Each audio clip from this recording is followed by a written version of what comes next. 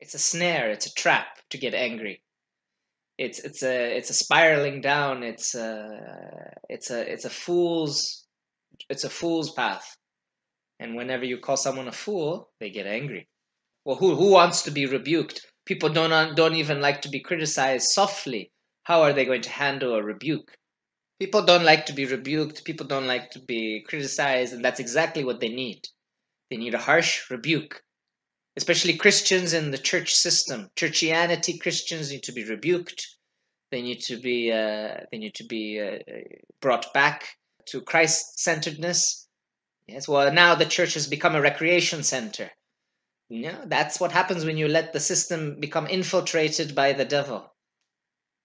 They'll eat all manner of unclean foods in the church gatherings, the church barbecues and the church picnics and all those things. They'll be full of disgusting pork hot dogs and all manner of things that like shrimps and things that they shouldn't be eating. It says in the Bible not to eat those things, and then they'll tell you something how the, the law doesn't matter anymore.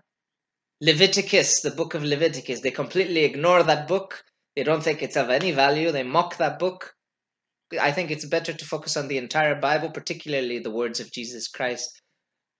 But what I'm saying about the unclean foods is it, it's a sign of how the church system gets infiltrated by unbelievers, pretending to be believers. Well, who knows what they believe, but it's not the same thing that Jesus believes in because we know what Jesus believes in because he told us. When we see what Jesus believes in, we can he- we can we can read it, we can feel it in our spirit, and then we witness what we see in the church, and we don't see the two connecting.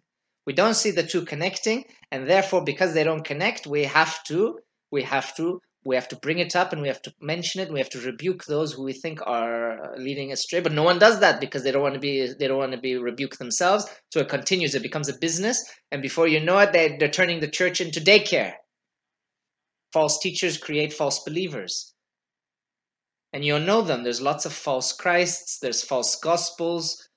There's all manner of things. And anyone who is not of christ is of the antichrist. So you have a choice here you have to be careful that you're Christ centered and you're Christ like.